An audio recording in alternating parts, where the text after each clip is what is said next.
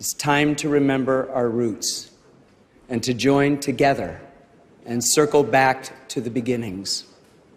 We'll end with a song from the Carter Family. It's one It's one of the most enduring songs in country music history. A song that mourns the passing of a loved one and yet offers up a brighter hope that awaits us by and by. It's a song that brings people together.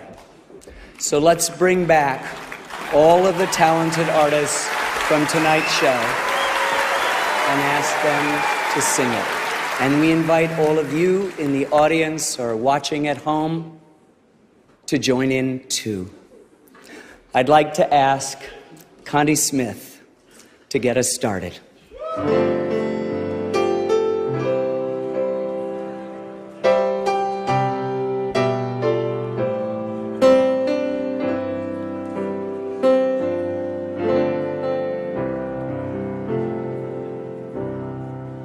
I was standing by my window on one cold and cloudy day.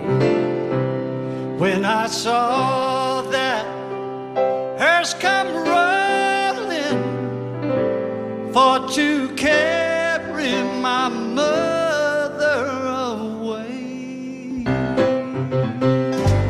Will